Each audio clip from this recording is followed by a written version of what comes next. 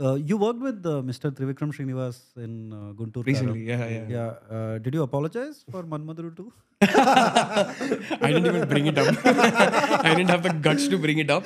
I.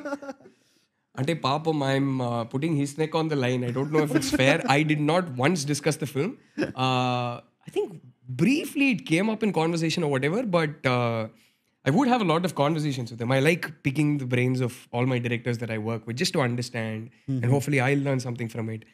Um, one of his stylists that had worked with him in one film, if I'm right, they'd done the songs of Ala Vaikunthapurramuloo, if I'm right, uh, had done my film as well.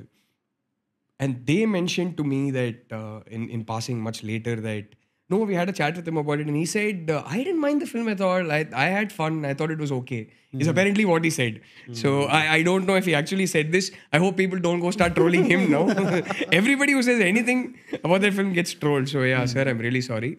But I, I heard he said, I didn't mind the film. I thought it was a lot of fun, is what he said. So I, no, I didn't bring it up. is he like as funny in real life, like on sets and all? Like, is he like funny or? Oh, he, he is. He definitely is. Obviously, all my interactions with him were on the set, and he's in work mode, and so it- it's there's not really time for fun and games and jokes. But uh, he's a fantastic person to have a conversation with. Uh, that I enjoyed. Were they all funny?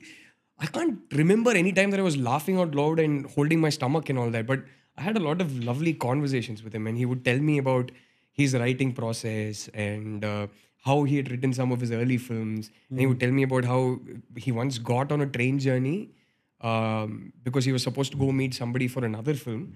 And in the middle of that train journey, he got a call and they asked him to write some other film, or just before he got on that train. So he said by the time the train journey was over, he'd finished writing a script. Oh. So he he would tell me about how prolific he was back then. He was like 12 hours, 13 hours, I'd finish an entire screenplay and things like that. So, so those things were amazing to hear.